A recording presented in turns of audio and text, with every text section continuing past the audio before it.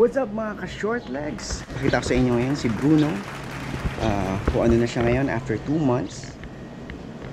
So yung basic feature nitong CB650R inline 4 na siya. So as you can see here, look at the pipes. There. Inline 4 649cc. Yung front niya, yung suspension niya is inverted fork. There. And look at the front brakes. It's Nissin na rin, ABS. There, Nissin. So LED na rin yung light niya. Yan. Meron siyang daytime running light. So kapag uh, uh, high beam, yan. Pagka magpapass ka, flicker, yan, like that. Ayan, may LCD panel na rin siya.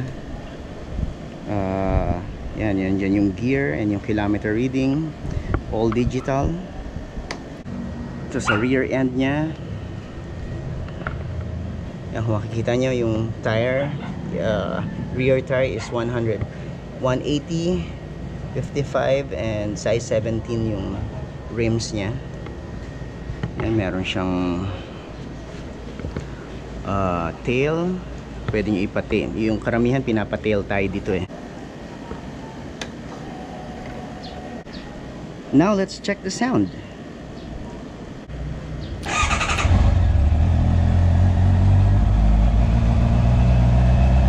So sa umpisa mataas talaga ang RPM. Yan and then after 2 minutes of uh, painit yun saka mo pwedeng papainitin mo muna before mo.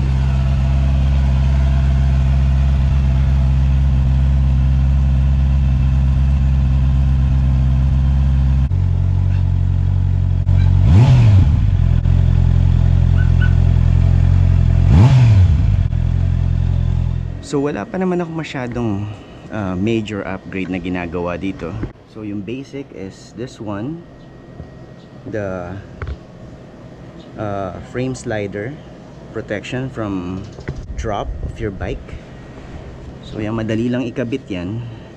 Tinatanggal lang yung main nut lang dito. You need the number 17 Allen wrench. So this one naman is for the stand. So yan, i-allen wrench dyan para hindi magagasgas yung yung ilalim ng stand. So this is on the right side. There oh. Ito yung right uh, frame slider. Uh, at the same time, lagyan ko rin siya ng uh, front spool. Yeah. Madali lang din siya ikabit uh, do it yourself din dito nilagyan ko rin siya ng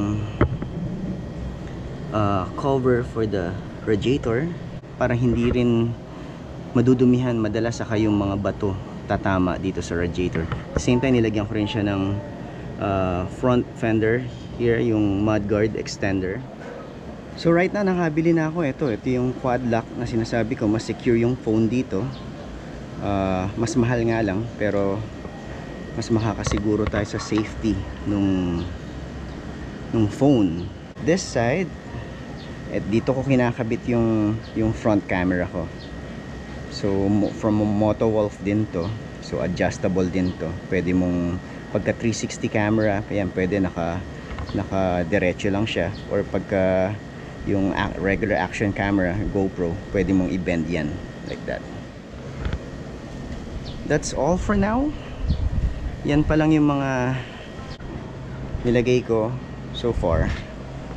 So uh, I keep this plastic on pagka naka naka park siya para hindi para yung yung seat parang bago pa rin.